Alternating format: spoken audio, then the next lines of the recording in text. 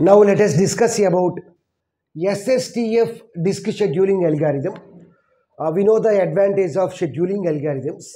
Scheduling algorithms decides the order in which the jobs are to be executed. SSTF stands for shortest seek time first scheduling algorithm. Uh, let us see what is the advantage of uh, uh, SSTF scheduling algorithm. Uh, here we have to select the request with minimum seek time from the current head position. So from the current head position, we have to select the request with the minimum seek time. Okay. So that means from the current head position, we have to select its nearer value. Okay. Uh, now let us see an example with the help of the SSTF uh, disk scheduling algorithm. A disk queue with requests for IO to blocks on cylinder. So these are the cylinders which are given. Uh, we can call these as tracks or let us uh, we can call these as seek time also. Uh, so 98 uh, next to second request 183 37 122 14 124 65 67 okay these are the cylinders which are given in the example if disk head is initially at the cylinder 53 so the read write head is at the uh, 53 cylinder. Uh, then we have to find out uh, the total number of movements that are needed. So in this problem uh, uh, the number of cylinders which are given are 200 so totally 200 cylinders are given. 200 cylinders. So the minimum cylinder is 0 200 cylinders. So next biggest one is 199 and initially the read write head is at the cylinder 53 uh, so let uh, 53 cylinder is at this location. So here what is shortest seek time first scheduling algorithm?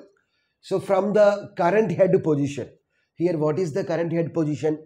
53 we have to select the request with minimum seek time.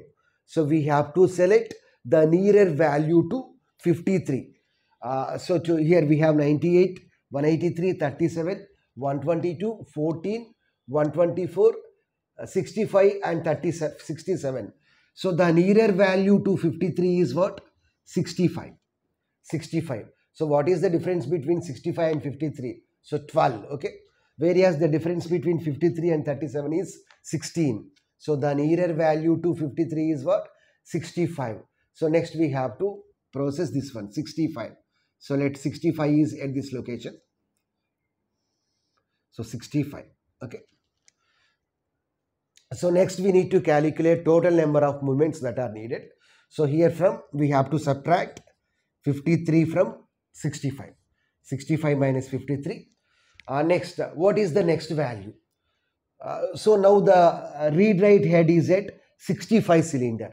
So for, for 65 the nearer value is 67 so the next cylinder is uh, let the 67 cylinder is at this location. So now we need to go to the cylinder 67 67 so we have to subtract 65 from 67 so always we need to subtract lower value from the higher value. Why? Because it produces uh, positive value okay?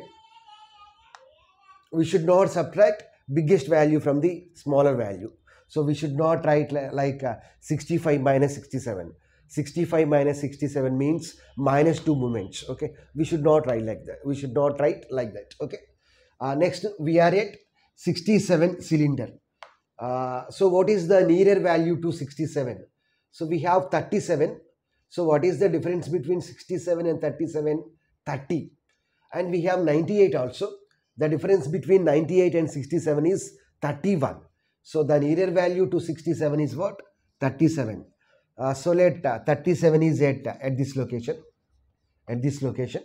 So next uh, we have to go to the cylinder.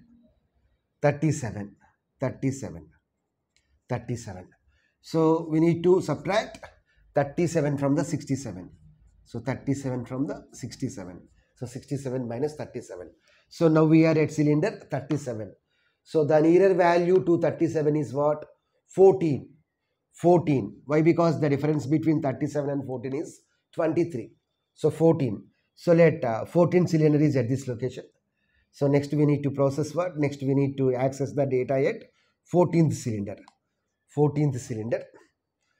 So we have to subtract 30, we have to subtract 14 from the 37. So 14 from the 37. Uh, so next one, uh, the, the nearer value to 14 is what? Uh, so 14 is accessed, the data in 14 cylinder is accessed. So 98, 183, uh, 122 and 124. So the nearer value is what? 98. So the difference between 98 and 14 is lesser when compared with the remaining.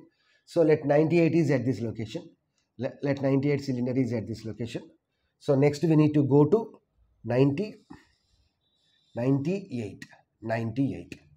So we have to subtract, we have to subtract 14 from 97, 14 from 98. So 14 from 98, 14 from 98. So the data in 98 cylinder is accessed. So next one, uh, so for 98, the nearer value is, so we have 183, 122, 124. So which is the nearer value? So 122 is the nearer value. 122 is the nearer value. Next, uh, we have to access the content in 122. So next we need to subtract. We need to subtract 122 minus 98. So 98 from the 122. Okay. 98 from the 122. Uh, next, uh, the nearer value to 122 is what? 124. So let 124 cylinder is at this location. So next we need to go to 124 cylinder to access the data. So next 124 minus 122. 124 minus 122. So next one, what is the last one? 183. So let 183 is at this, at this location. So next we have to access 183. So what is the operation? Uh, 183 minus 183 minus 124. So 183 minus 124. Okay. Uh, so if you do uh, uh, subtractions and a series of subtractions and addition, we will get the result as 236. So here total number of head movements that are needed are 236. Okay. So this is about uh, SSTF disk scheduling algorithm. So SSTF stands for shortest seek time first scheduling algorithm. So from the current head position, we have to select the shortest seek time. We have to select the minimum request. Okay. From the current head position, we have to select the minimum head position. So we can say that SSTF disk scheduling algorithm is better than FCFS scheduling algorithm. Because here if we use SSTF then we require only minimum number of movements. Okay